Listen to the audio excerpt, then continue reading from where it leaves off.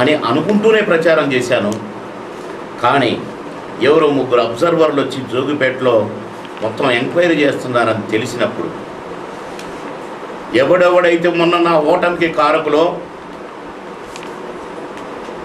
వాళ్ళని ఎంకరేజ్ చేస్తూ ఈ మదన్ మోహన్ ఆడిన ఈ నాటకం ఈ కారకులు ఎవరైతే పార్టీకి దూరంగా ఉన్నారో వాళ్ళ ద్వారా బీఫారాలు క్యాండిడేట్లకు ఇప్పించాలని మదన్ మోహన్ ఆడిన నాటకం బాగా ఆలోచించాను బాగా ఆలోచించాను. చాలు.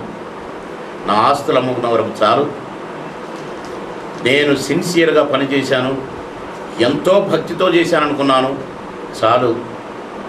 పార్టీకి పార్టీ సభ్యత్వాన్ని కూడా రాజీనామా చేసి ఒక నమస్కారం పెట్టి అందోళన ప్రజలకు చంద్రబాబు నాయుడు గారు నేను అహర్నిశలు భక్తితో శ్రద్ధతో వినయ విధేయతలతో పార్టీకి వర్క్ చేసినందుకు మంచి బహుమతి ఇచ్చారని తప్పుకుంటేనే బెటర్ అని నేను మిమ్మల్ని అందరిని పిలిచాను.